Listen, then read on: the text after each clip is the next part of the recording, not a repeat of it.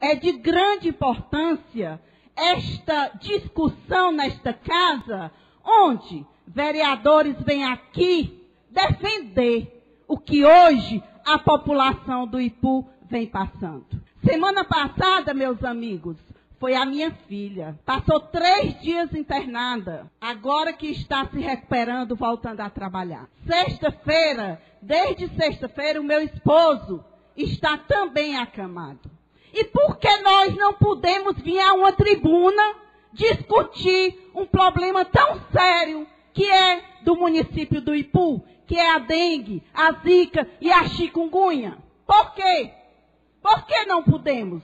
O senhor poderia me dizer por quê? Porque nós fomos eleitos foi para isso, para defender o povo nesta casa. E não está dando amém a certas pessoas que chegam aqui querendo vaiar e gritar o vereador. E é bom que tenha respeito, já que a presidenta dessa casa não impõe respeito, nós, vereadores, exigimos respeito. Meus amigos, a prefeitura do Ipu pagou ao Instituto Evaldo Lupe muito dinheiro. Mas muito dinheiro mesmo. Eu trago aqui uma, uma escrita do Tribunal de Contas, onde ele fala justamente sobre este Instituto Evaldo Lupe. O Instituto Evaldo Lupe, que o município do Ipu pagou no ano de 2014, 2015 e 2016, 590 mil e 48 reais. E deixou, meus amigos, tirou justamente do dinheiro do Fundeb. Não sei se dos 40, dos 60, mas tirou. E fez pagamentos a bolsistas. E fez pagamento a bolsistas. Esquecendo que dar, que dar, justamente, eles quiseram burlar a lei de responsabilidade quanto ao limite dos gastos com o pessoal. E nós estamos aqui com a CPI pronta. Com a CPI pronta. Por que não? Por que não colocar, botar CPI, meus amigos, é um documento que se entra em que os edis vão ter direito à documentação desse instituto que foi pago. Os senhores sabem muito bem. Há pouco tempo os senhores entraram aqui com a CPI das passagens molhadas.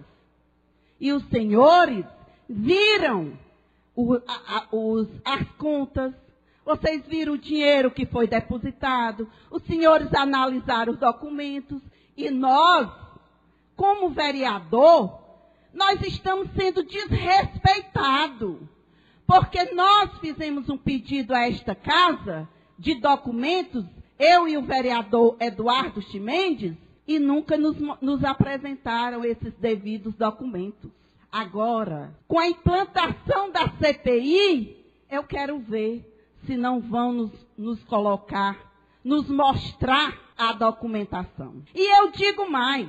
O senhor presidente pode se negar de botar a CPI. Ele pode querer enrolar, que isso é de praxe, porque aqui nós temos muitos projetos que tramitam nesta casa até hoje e nada é colocado em votação. Mas com a CPI é diferente. Ele não vai poder, não. Ele vai ter que respeitar. Porque se ele não fizer, nós o fazemos, porque nós somos sete. Um mesmo. É um mesmo. Nós estamos seguindo as leis. Nós estamos seguindo as leis. Na sessão passada, o vereador Carlos Amarante, infelizmente não está aqui para me ouvir, mas ele escuta ou eu repito para ele em outra oportunidade. É, recebeu das mãos de um ladrão dos tributos e nesse documento veio falar nesta tribuna que eu tinha três processos de improbidade. Os processos ainda não foram julgados. Foi colocado pelo Raimundo José, chefe do setor de administração da Secretaria do, da Prefeitura Municipal. E esse processo que eles colocaram dizendo, pedindo a improbidade da gestora Maria Efigênia.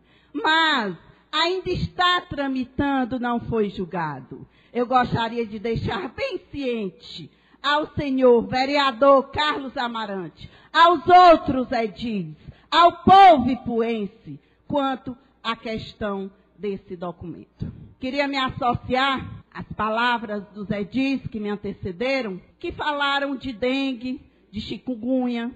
Outros virão e vão falar da escuridão da nossa cidade, que continua escuro, né? do lixo que continua acontecendo nos bairros.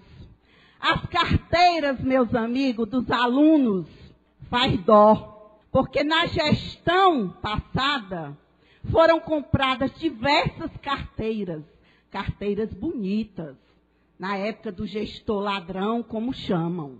Mas agora nem consertando as cadeiras estão. Faz dó. E se vocês acharem que eu estou mentindo, meus amigos, eu provo para vocês com fotos tiradas das escolas. Carteiras quebradas, escolas horrorosas, imundas, quebradas, destruídas. É essa a gestão da transparência? É essa a gestão da liberdade? É essa? Pois não, Eduardo. É, aqui me associar às suas palavras e dizer que tem as fotos para provar. E uma das escolas que está totalmente destruída, não só as carteiras, mas como a escola, a escola das quebradas, do olho d'água dos Facundos. Obrigado. E terminando aqui sobre o Instituto, temos aqui duas notas fiscais que as prefeituras de Biapina e outra prefeitura de Jaguaribe trabalha com o mesmo instituto, com o me, e a de Quixeré, com o mesmo instituto. Agora, eles não utilizaram o dinheiro do Fundeb, não. Eles usaram o dinheiro do Caixa. Eles foram inteligentes. Eles pagaram a esse instituto, Euvaldo, lobby, mas usando dinheiro de recurso próprio, não do Fundeb, como assim eu mostrei agora para você. É, queria, meu tempo esgotou, queria abraçar todos vocês, desejar uma boa semana. Que Santa Efigênia abençoe todas as casas, protegendo da zika, do chikungunya e do, da dengue. Muito obrigada e uma boa noite.